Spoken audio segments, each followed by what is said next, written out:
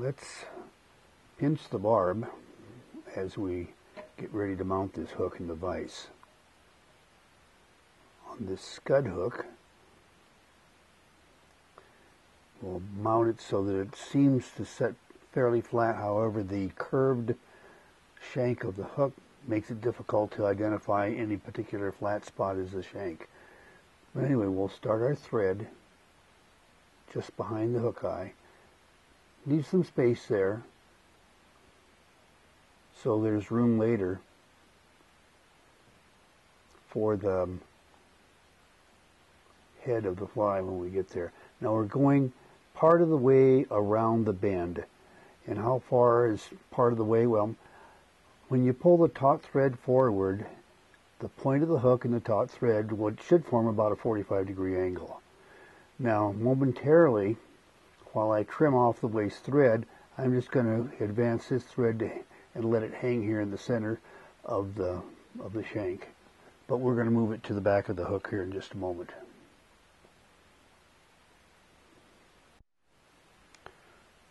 I have a short segment of tinsel that I've removed from the bobbin of tinsel and we're just going to tie that on the bottom of the shank and start wrapping forward.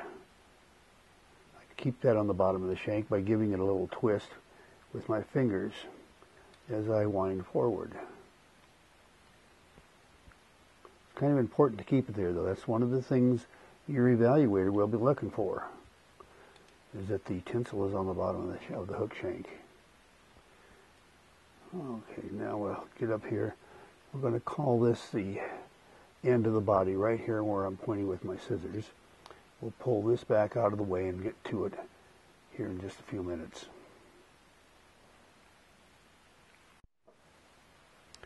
I'm going to also tie several strands of goose herl and that herl comes from the wing feather being referred to it as fibers but anyway we'll have that tied to the bottom of the hook shank as well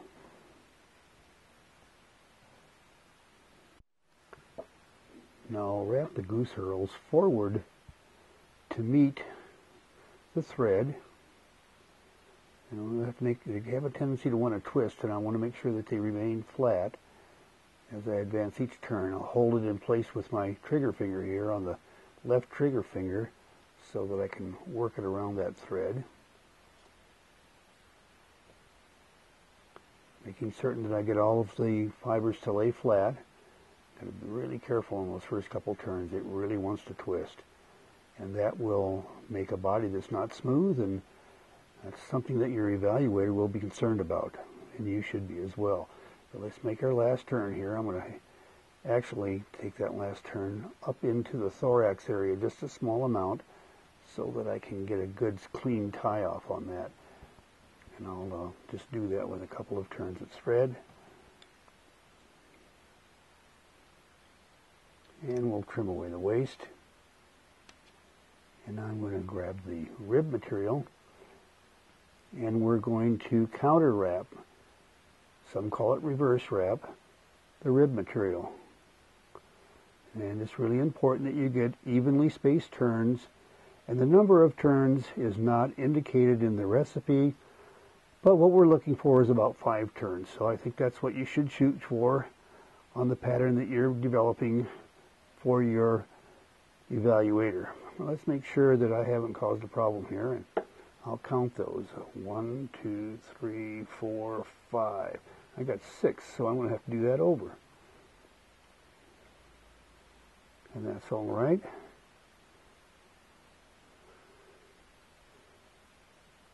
And we'll just open those turns up just a little bit. Four, five, and we'll tie that off.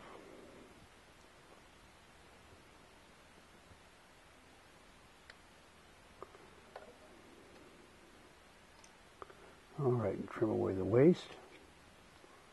That'll take care of the rib. Now let me make certain that I got the correct number of turns before I go further. One, two, three, four, five. Okay, we've got it.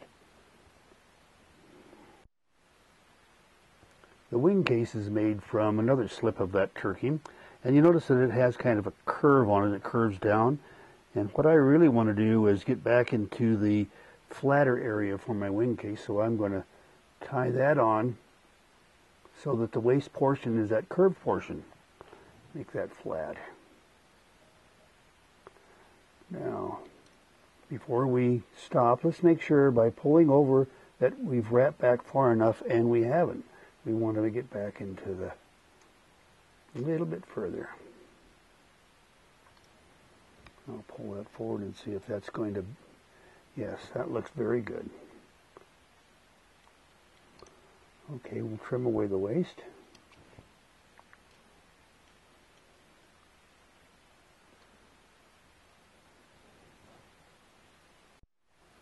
Now it's time to add several strands of peacock herl for the thorax. And I think I've got about four here. This is a little bit larger hook than, than some. You'll use a couple on a smaller hook and a few more on a larger hook. I'm going to tie these in by the tip and I'm going to trim that off even before I attach that to the bottom of the hook shank.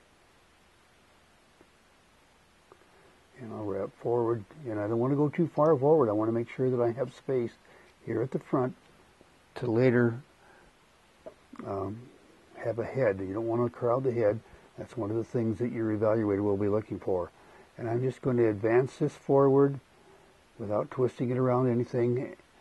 As we learn more and get further into this course, we'll learn more about wrapping peacock herl to strengthen it with thread and wire and so forth.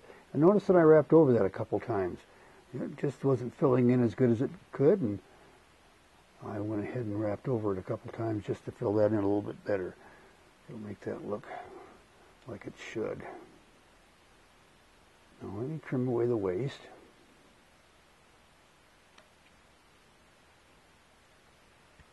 And wrap a couple of thread turns there just to cover up that waste. Now let me press forward on these goose fibers that are going to form the, the wing case.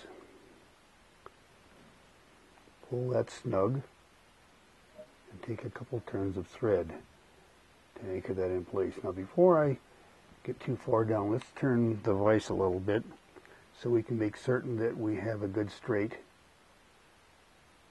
wing case. And in my case, or in this situation, it needs to be pushed forward just slightly on that one side. And now that'll bind it in place. And to keep a nice even head without a lot of waste in it, I'm going to trim these fibers off a few at a time rather than all at once.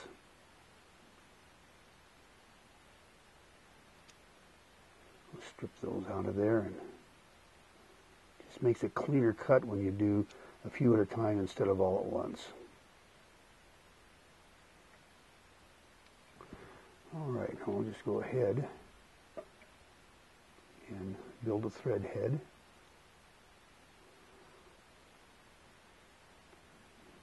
Grab our whip finish tool.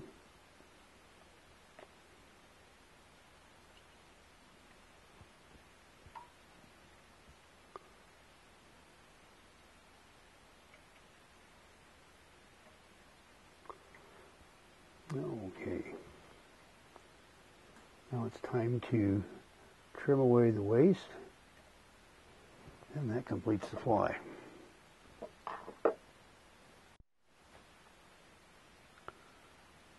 Now it's time for me to switch roles and I'm going to take a look at an evaluator's sheet and instead of being a fly tyer I'm going to evaluate my own fly and um, the first thing on the sheet it says overall appearance and proportions. I'm going to say that's fairly good and not down, not take any points off for that. Consistency, do all the flies look alike? Well, in this particular case, we only have one to look at. When you actually send three in to your evaluator, then you'll be able to identify whether the, your flies look consistent or not, and your evaluator will be looking for that. Material selection. We use the materials exactly as described in the recipe, so we're good on that. The body. The body looks good, smooth, the ribbing. The ribbing is uh, evenly placed. I had a little trouble with it. There's one spot that I don't think it's as good as it should be, so I'm knocking a point off of of, of my application of that rib. Even though it's five turns and it's uh, evenly spaced, it just isn't quite as good as it could have been. The thorax. Thorax is proportioned about like it should. However, I'm not really pleased with the distribution of the peacock in that thorax. I'm knocking off a point. I think the wing case looks pretty good. Here, I bumped my camera. I don't want to do that. The wing case looks pretty good. Take a look at it from all sides here. And um, I'm pleased with that. I'm not knocking anything off of that. The head looks like it's proportioned about like it should be. So there's no points off of that. So was it perfect? No, but the fly uh, would have passed uh, inspection of the evaluator, at least this evaluator myself. And I would assume most other evaluators will look at it with the, with the same um, general attention to detail.